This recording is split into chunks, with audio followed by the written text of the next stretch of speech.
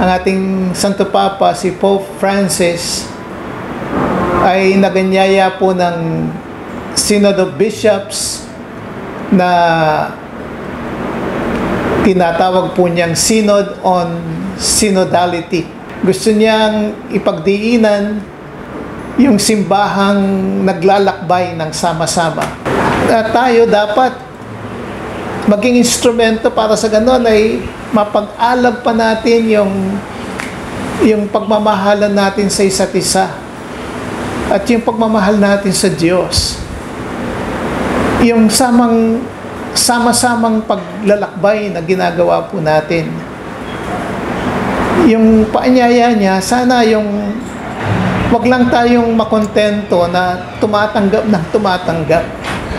Sa harapan ng Diyos, yung mahalaga po ay uh, unang-una yung nagbibigay tayo ng ng panahon uh, sa simbahan at panahon sa Diyos at uh, binibigay at binabahagi po natin yung talento na bigay sa atin ng Diyos. Sa Pondo ng Pinoy po, naalala ko nung umpisa nito ni uh, Cardinal Gaudencio Rosales, yung paanyaya po niya, yung magbigay tayo ng uh, DGs, focusing, gano'n, no? Kaya 25, paanyaya po ng Pondo ng Pinoy, ay walang sino man na mahirap na hindi pwedeng magbigay.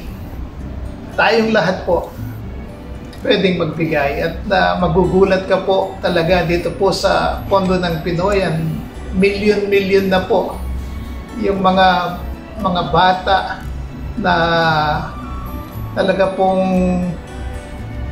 nabigyan ng, ng biyaya dun sa mga feeding programs po uh, ng uh, pondo ng Pinoy.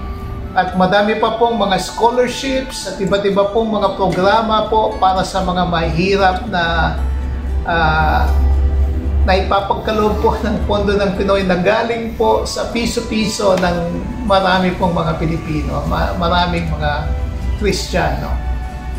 So yung paanyaya po sa atin, yung uh, maniwala na unang-una, yung uh, yung konti na binibigay natin, lalong-lalo na po kung ito ay ang uh, uh, lahat-lahat na para sa atin, ay kinalulugdan po ng Diyos at kinatutuwa po ng Diyos sama-sama po nating pagbibigay ay napagsama-sama natin maraming marami po tayong matutulungan.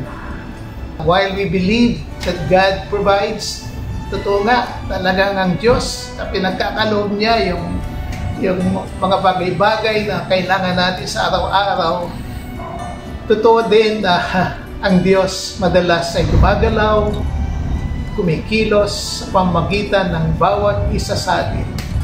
Sa bawat kusing na binibigay natin, ang Diyos ay nandyan, gumagalaw sa bawat isa sa atin.